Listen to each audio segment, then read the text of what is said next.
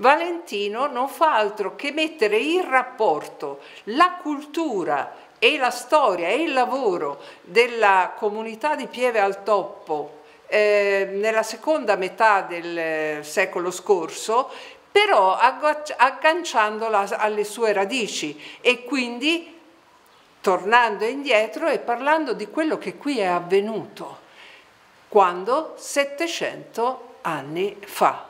con la battaglia di Pieve al Toppo. Valentino Minocchi racconta così la storia ed i segreti di Pievaltoppo nel volume realizzato e pubblicato con il sostegno del comune di Civitella Pievaltoppo Storia, Lavoro e Cultura di un borgo dell'Alta Val di Chiana. L'autore in questa pubblicazione storicamente documentata ripercorre alcuni aspetti dell'ultimo secolo della storia di Pievaltoppo offrendo un affresco storico e sociale del territorio e nei 700 anni dalla morte di Dante Alighieri nei locali della parrocchia di San Giovanni Battista è stata allestita anche una mostra dedicata proprio alla battaglia di Pieve al Toppo. Dove eh, sono stati messi in esposizione dei manufatti realizzati nel 1988, ovvero un grande plastico di 6 metri quadrati con il quale è stata ricostruita la battaglia della Pieve al Toppo